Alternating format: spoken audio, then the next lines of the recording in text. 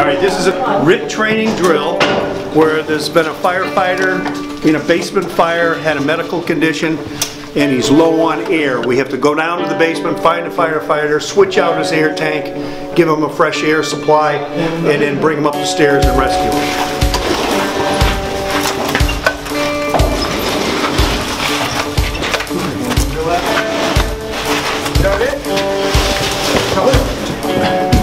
Awesome job, guys.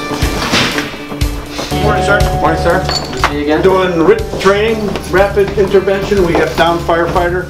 And then they sent in a team of, of five guys on one hose and five guys on another hose. It was guys and girls, actually. One team would be the fighter, and the other team. Well, this class is fun because it's a lot of hands-on work and you're learning a good, a good thing to, to learn, like how to rescue people and learn very practical stuff.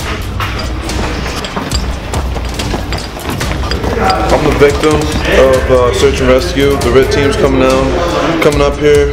I'm gonna swap my bottle because I am low on air and uh, remove me from where I am now and down the stairs to safety.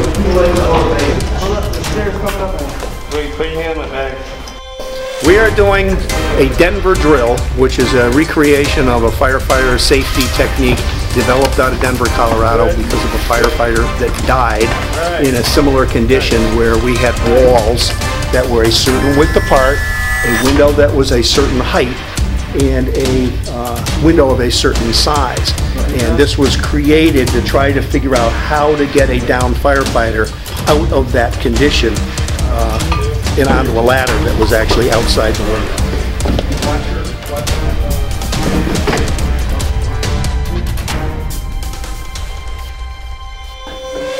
Good job. Hard, huh? So you guys all set? You know what you're gonna do? Not yet. You're gonna find the firefighter, clear him of whatever collapsed material is on top of him, and then we're gonna carry or drag, whatever way we can, get him out down the stairs. You good?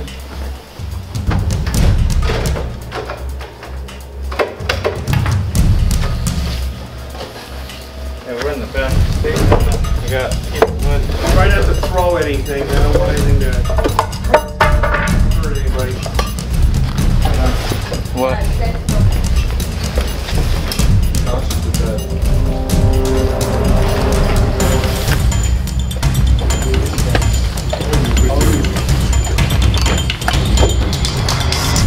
Hi, I'm Brian Wright. I'm Technology Education Department Head here at Rockville High School. Really proud to say that we have a fire tech program here at the uh, high school.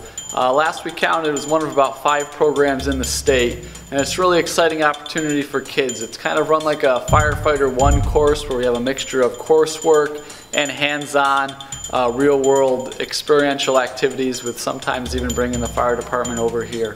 One of the great parts of the program is that it not only creates some community service type uh, elements for the students in the class, it also creates a direct link between the students, the school, and our volunteer firefighter program here in Vernon. It's a fantastic program and I'm proud to say we offer it.